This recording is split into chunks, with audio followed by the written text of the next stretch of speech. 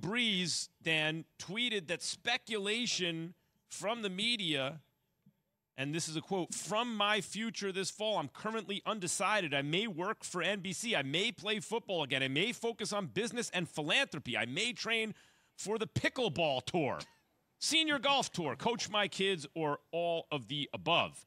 I doubt it could be all of the above. I'll let you know. I doubt it as well. Play hot news or not news, Dan. I'm just going to ask you the, the part where he goes, I may play football again of this whole thing. Is that hot news or not news? I think it's not news. I mean, it would be news if he played, but I don't think it's realistic. I mean, this is a guy, he's 43, didn't play last year. Last time we saw him play, wasn't particularly good. Uh, and he just had surgery on his left shoulder like a month ago or sometime within the last month. I, I, I think it's. I think it's far fetched. I think the pickleball thing is more realistic, honestly, for Drew Brees at this point in his career. And, you know, this is something that obviously made waves last night, but even just a, a, a quick text or call here and there, it, it, I didn't find anybody who thought him playing football again this fall uh, was a legitimate possibility.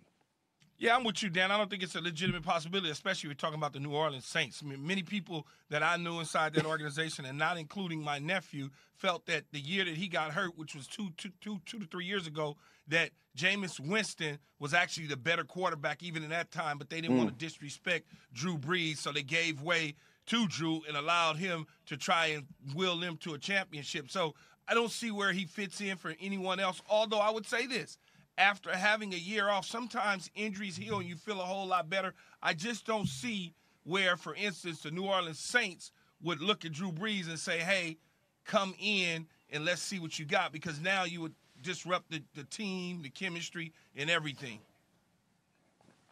And, and if you're Brees, you want to go play for somebody else at 43 and see if you can do it. You want to go play for like the Carolina Panthers and have to play against the Saints twice a year. I mean, like if he had never won the Super Bowl and he felt like he could go back and win a Super Bowl somewhere, I could see it. But what is the point if you're Drew Brees uh, of playing football again at this point? I, I, think this is a guy that was tweeting to have some fun, and and, and I, I, I doubt that we should be taking it uh, all that seriously. And key to your point, like would the Saints even want him at this point, or, are they all set with the team they have going forward?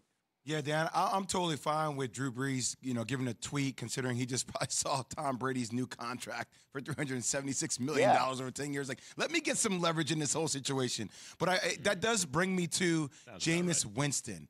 How committed to Jameis, to the, are the Saints committed to Jameis Winston? I mean, I think the way the contract is set up, it's it's it's year at a time, right? So I mean, they'll see. But he's coming off of an injury. They liked what he did for them early last year. They felt there was promise there. They felt like you know the year he spent as a backup to Brees and working with Sean Payton and in that system, you know that that that he fixed some things in terms of ability to take care of the ball that cost him obviously when he was in Tampa. Uh, so they have high hopes for him, assuming he comes back from the injury in time to start week one, which uh, they, they think is, is possible and likely at this point. Uh, they have high hopes for him. They feel like they've put a good group around him. They feel like with Michael Thomas coming back, uh, that that's a big benefit to whoever would be playing quarterback for them this year. Uh, and right now, they're they're willing to to see what Jameis can do at this point in his career. Still a young player, uh, incredibly talented, and they were winning games with him at quarterback last year. So so they're excited.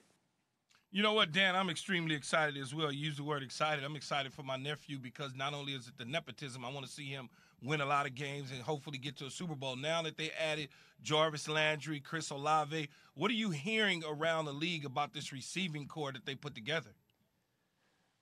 Yeah, obviously this was a major weakness for them last year with with your nephew not playing and then with really very little else in that – group that they could rely on. And then obviously they lost uh, Jameis and had trouble at quarterback. So major, major upgrade. Uh, if he's coming back, a, a, guy that not long ago set the uh, NFL single season record for receptions, uh, along with Jarvis Landry, who's been a reliable performer, still not yet 30 years old. He only only caught 52 balls last year, but he had some injuries, and they, I think people think there's a bounce back there, especially if, you know, around the league. Like one of the reasons it took Jarvis so long to sign is because a lot of teams perceive him as sort of just a slot receiver, and he wanted to be perceived as more than that. So interested to see how the Saints use him. And then, of course, Olave uh, and everything he brings, assuming he gets up to speed in terms of the NFL game uh, quickly, it, it, could be a pretty dangerous group, and and uh, obviously would make Jameis Winston, I think, even better than he was in those first six, seven games last year. How much pressure? How much pressure does this put on Jameis now that this receiving corps is intact?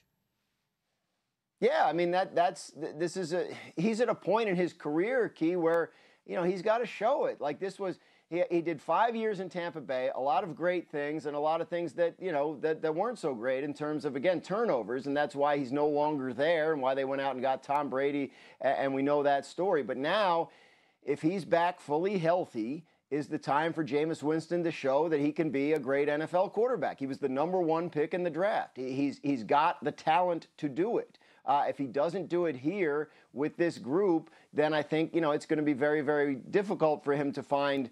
You know, and it's not going to be difficult for him to find another chance, but it'll be more difficult than it was this time around. And remember, he had to take a backup job when he left Tampa. So it's a critical point in Jameis Winston's career uh, for him to show that he can be the player that he believes he can be and that um, much of the league has long believed he would be.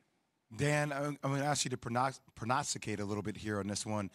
Do you? He signed a two-year deal this offseason. Could you see where the Saints could be moving on from Jameis Winston before his two years is up?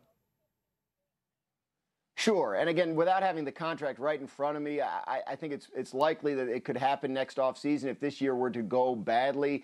We know they looked around at other options. We know they were in the Deshaun Watson uh, sweepstakes when when he was deciding between them and Atlanta, and, and ultimately decided on Cleveland.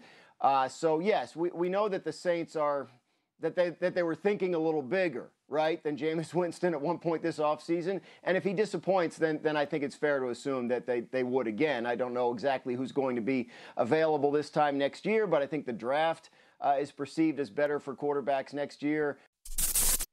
Thanks for watching ESPN on YouTube. For live streaming sports and premium content, subscribe to ESPN Plus.